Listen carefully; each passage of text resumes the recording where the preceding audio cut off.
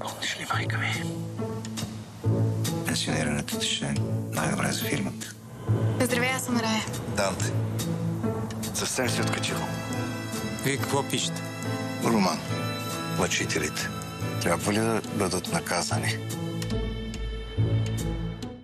Следва среща с една актриса, при която младостта и талантът вървят уверено ръка за ръка. Гледаме и от най-големите театрални сцени у нас, а вече и от трета кинолента за филма Рая на Данте и мястото на Радина Борша в него. Радина е вече в студиото на Сауди с здравей. Добро утро и много благодаря за поканата. Изключително ми е приятно да сме заедно. И на мен също.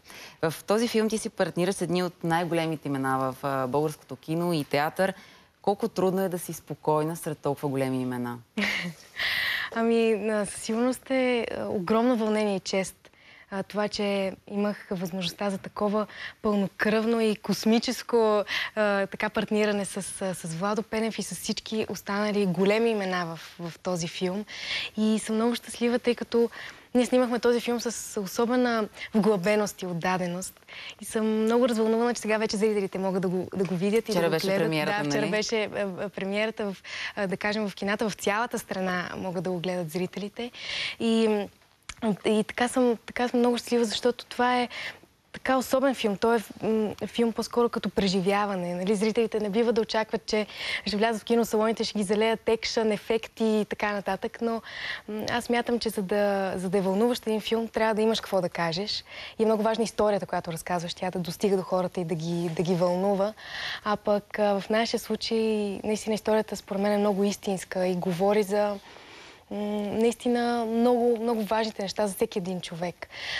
Състоянията, през които всички преминаваме, емоциите, отмъщението, сенките на миналото, грешките на родителите, пътя на децата им. Изобщо, ето, занимаваме се с темата за прошката. Колко е важно да простиш, как това е една особена пречистваща сила, всъщност, която може абсолютно да, да промени живота ни, да ни даде а, възможност за ново начало. За любовта също така. А, мисля, че така напомняме на зрителите, че това е най-голямата сила, с която сме дарени че тя може наистина да, а, да даде светлина в живота ни. Разбира се, според мен най-важното, надеждата, обаче онази надежда, която най-трудно според мен се открива, когато, когато човек е отчаян, когато а, не, не вижда изход, когато всичко около него е мрачно, тази надежда, която се явява като светлина нали, в, в края на тунела. Така че много силно се надявам, че зрителите, когато отидат в салона, ще си, ще си тръгнат с усмивка и наистина с надежда и с усещане, че животът е прекрасен, животът е подарък и трябва да, трябва да си го живеем. Като че ли имаме нужда от тази надежда, още повече предвид и времето, в а, което живеем. Смяташ ли обаче, че публиката иска да влезе в киносалона и да мисли, защото този филм звучи като такъв, а не просто да седи и да гледа някакви ефекти, движещи се седалки, въздух, който се впръсква от някъде.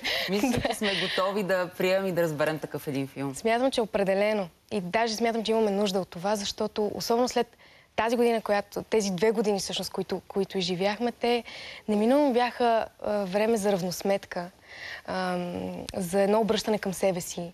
А, и нашия филм е точно, точно нещо такова. Така, на финала на годината, наистина като, като една равносметка и като време наистина да, да помислим малко. А, интересно е, че ние понеже ние го снимахме 2019 година, август месец, когато в София бяха някакви рекордни горещини. Ама наистина, просто не се издържаше. И си спомням, че даже а, с Владо Пенев ни бяха дали едно малко вентилаторче, с което ние се разхлаждахме по време на снимките, но въпреки това, въпреки а, всички такива някакви перипети, през които минахме, наистина ние го снимахме с... А, много особена концентрация, много прецизно работихме. И съм много щастлива, че имах така възможност да мисля и да, да усещам своята героиня да я променям, така както, така както нали, усещам, че, че е редно. А, сядахме винаги с, с Димитър Радев, който е режисьор и сценарист, с Владо Пенев и с а, Калян Божилов, нашия оператор.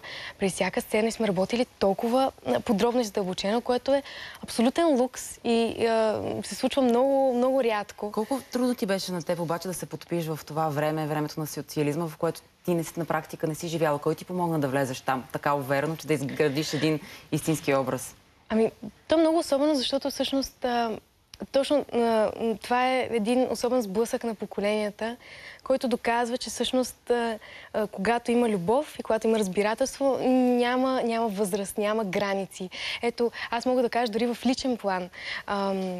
Този филм е срещна с огромни български имена. С Гинка Станшева, с Иван Албантов, с Борис Луканов. Хора от съвсем друго поколение, от съвсем друга школа. Хора, с които съм мечтала да, нали, да, да, да, въобще да, да видя. И ето, пък този наш, а, наша среща всъщност стана с огромна топлина и с огромно партньорство. Аз няма да забравя никога среща с Иван Налбантов, например, когато, за съжаление, загубихме тази година. Това е неговата последна роля, която могат да видят зрителите. Той всъщност е бил много дълги години част от екипа на моят професор Стефан Данаилов и тогава неговото здраве се беше влушило и си говорихме и си помня, че така си просто си помълчахме, изпратихме обич и любов към, към нашия професор и той ми каза нещо, което много силно така запомних. Той ми каза, че тази професия е характер и че е много важно да издържиш, да имаш силата да издържиш. Не е просто а, талант или работа, наистина, защото в крайна сметка актьорите, че гъртаме душите си. И а, това никак не е леко. Как обаче едно младо момиче като тебе, ти съвсем скоро ще имаш рожден ден, знам, и все пак си, си много млада. Как ти тренираш своя характер, за да устояваш на всички тези предизвикателства, защото да участваш и в тези три ленти, пък и на една от най-големите сцени на България, тази на Народния театър, със сигурност изисква много повече, отколкото хората, които ни гледат, дори могат да си представят. Ами, според мен много е важно да обичаш това, което правиш, да си отдаден, да си всеотдаен. Ам, И това е, това е абсолютното решение на всички пре- препятствия, които срещаш по пътя. Защото аз съм много щастлива, че така и че станах част от семейство на Народния театър. Там предстои нещо голямо, нали Там, така? Разкажи ни и за него. То, да, да, това всъщност е абсолютно за мен, без да преувеличаваме театралното събитие на този сезон. Това е а, пристигнато на световно известния режисьор Робърт Уилсън и факта, че той всъщност постави бурята на Шекспир с нас в Народния театър. В, интерес на истината, те го подготвят от много време този проект. От няколко години ние минахме през изключително тежки кастинги. Включително до последно не знаехме кой и каква роля ще играе. И за мен беше вълнение и чест, че той ми повери всъщност ролята на Миранда, която е емблематична Шекспирова героиня. Интересното е, че той успя, тъй като той иде с със собствения си екип в България и съответно нашите чудесни служби в Народния театър, които поздравявам, както казва голямата актриса Мария Стефанова. Те са нашите войни на театъра. така че всички наистина всеотдайно им така се впуснахме в работа, но Робърт Уилсън успя да обедини всички тези хора, да вкара една особена магия в театъра, защото ние, е, както се казва, дори не говорим на един и същи език. А, обаче запомних нещо много ценно от него. Той, понеже ни събра и много често разговаряше с нас, и той каза, случва ми се да гледам постановки и да сядам на първи балкон. Така излиза, че всъщност нищо не достига до мен, защото актьорите играят за трети, четвърти ред на партера. Каза, това е абсолютно невъзможно. Вие трябва да цялото пространство да, да а, превземете и да, да вкарате всички зрители в тази история. И каза, представете си, че на втори балкон, на последното място, стои една дребна възрастна жена, която си е взела билет за точно този спектакъл и да гледа вас. Играйте за нея. Така че това наистина много силно остана в сърцето ми от, от този процес. Успява ли обаче човек да преодолее празните зали, които знам, че все още от време на време са факт в българските театри? Има ли значение дали играш пред един, пред двама, пред 30 или пред 30? Никога. Това е също и урок от моят професор Стефан Данилов, че когато един актьор стане на сцената, той трябва да даде сърцето и душата си, защото а, ние правим това за публиката и а, това е най-важното, това е нашата мисия. Но само да кажа, че а, въпреки тези две години пандемия, залите в Народния театър никога почти не останаха празни и се оказа, че българската публика е най-вярната ни публика. Тя не ни изостави и благодаря за, за тази всеотдайна подкрепа. Поклон на публиката, поклони на всички вас. Обаче, знам, че един от така големите уроци, които ти си получил от Стефан Данилов е точно как се тренира поклона. Намирам тази история за прекрасна, ще ни я разкажете. Точно така. Той наистина винаги а, много държи а, на това нещо и той вярваше, че единствено и само публиката заслужава поклон.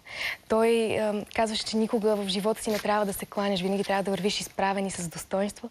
И затова той винаги по няколко дена репетираше поклоните. И в интерес на истината и Робърт Уилсън по същия начин, ето сега, поклоните са му изключително богати, цветни и той по, по, по същия начин ги работихме много дълго. Така че това е наистина нещо много важно, защото ти благодариш на публиката в тези моменти, че е била с нас, че е отделила от времето си, че сме, че сме сме случили тази магия заедно. А ние благодарим на теб, че беше днес тук. За мен беше голямо удоволствие. Ще те гледаме в Рана Данте, в Бурята и всички останали твои постановки в Народния театър. Благодаря ти.